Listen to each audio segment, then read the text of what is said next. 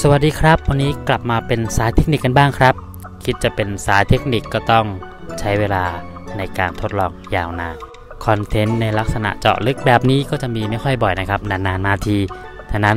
โปรดดูจนจบนะครับสำหรับการผสมเกสรเสน่ห์จันทร์ต่างๆ Homalomena เกสรพืชกลุ่ม aroid นะครับจะมีลักษณะคล้ายๆกันนะครับ ก็คือจะมีการบานของเกสรตัวผู้ตัวเมียแตกต่างกันไป ถ้าไม่ได้ถูกผสม ก็จะเสื่อมสภาพย่อยสลายไปนะครับ ส่วนของเกสรตัวเมียจะพร้อมก่อนเกสรตัวผู้นะครับ ก่อนอื่นเราต้องตัดส่วนเกสรตัวผู้นะครับเสน่ห์จันทร์ดำเก็บแช่เย็นเอาไว้ในถุงซิปในช่องผักนะครับ เมื่อพบกับเสน่ห์จันทร์ประกายดาวที่มีดอกออกมาครั้งแรก ก็จับนำมาผสมพันธุ์นะครับ เจ้าตัวนี้ก็เป็นเสน่ห์จันทร์ประกายดาว Homalomena Stardust นะครับที่สงวนตัวเองไว้อย่างยาวนาน ก็รอจนกว่าจะ มีดอกนะครับ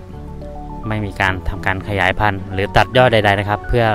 รอผสมพันธุ์เท่านั้น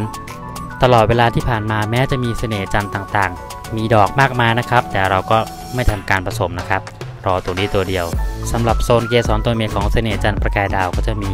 สีออกชมพูชมพูแดงๆนะครับ ต่างจากตัวอื่นนี่ใบล่าสุดก็ออกลายอย่างสวยงามอมชมพูทีเดียวครับนี่นะครับจะเห็นได้ว่ามีสีออกชมพูจะมีเม็ดสีขาวๆนะครับ เวลาเข้าบานวันแรกจะมีเม็ดสีขาวๆประปนอยู่บริเวณโซนเกสรตัวเมีย จากนั้น 1 วันถัดมาเนี่ยเขาก็จะหายไป ส่วนเกสรตัวผู้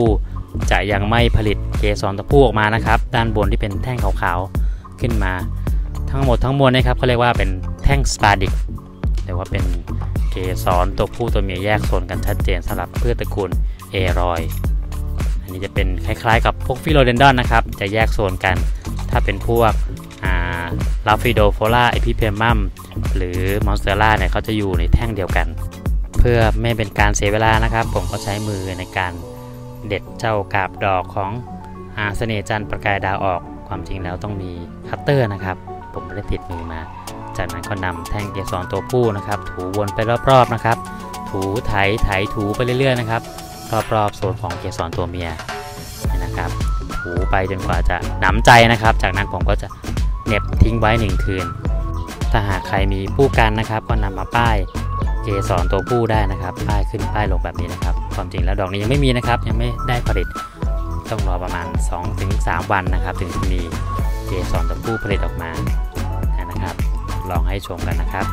ช่วงตกดึกหรือช่วงเช้ามืดนะครับ มันจะมีมด เข้ามาตอมบริเวณเกสรตัวเมียนะครับ เราสังเกตได้ว่ามันจะมีมาเต็มเลยครับ มดชอบมาตอมน้ำมงน้ำหวานที่ผลิตนะครับ เจ้าเกสรของพวกเอรอยนะครับผลิตน้ำหวานมาเพื่อให้มดหรือแมลงนะครับ มาเป็นตัวชักนำเอาเกสรตัวผู้จากดอกอื่นมาผสมนี่อันนี้เป็นของเสน่ห์จันหน้านะครับช่อนี้ก็เพิ่งบานนะครับ สังเกตได้ว่าจะมีเม็ดขาวๆด้วยนะครับนี่เมื่อบานใหม่ๆจะเป็นสีเหลืองครีมนะครับ แต่พอฝักใดที่การผสมนะครับ อันนี้เป็น 2 วันก่อนนะครับ จะเริ่มมีสีเขียว แล้วเม็ดเขียวขาวก็เริ่มกลายเป็นสีดำแล้วก็ร่วงหลุดไปนะครับนี่สังเกตได้ว่าแท่งด้านบนเนี่ยจะค่อยๆหายไป ชิ้นส่วนหายไปเหลือแต่เพียงแกนด้านในนะครับ สังเกตได้ชัดเจนนะครับ จะมีสีเขียวเข้มขึ้นกว่าเดิม แต่ทั้งนี้ทั้งนั้นนะครับ เราก็ยังไม่มั่นใจนะครับว่าจะผสมติดหรือไม่ ในช่วงท้ายนะครับ เราจะทำให้เห็นภาพนะครับว่าเม็ดแบบใดที่ผสมเกสรแล้วติดมีเมล็ดด้านใน ต้องรอชมตอนท้ายนะครับอันนี้ผ่านไป 1 วันสำหรับเสน่จันทร์ประกายดาวนะครับ สังเกตได้ว่าเม็ดสีขาวๆบริเวณโซนเกสรตัวเมียจะหายไปแล้วนะครับนี่นะครับมดมดก็หายไปก็ผ่านการเน็บมาแล้วนะครับ เดี๋ยวผมก็จะเอาแท่งตรงนี้ออก เป็นไปตามกลไกธรรมชาตินะครับ เมื่อเจ้าเสน่จันทร์ต่างๆ มีดอกนะครับ เขาก็จะเริ่มลดรูปลดขนาดของใบ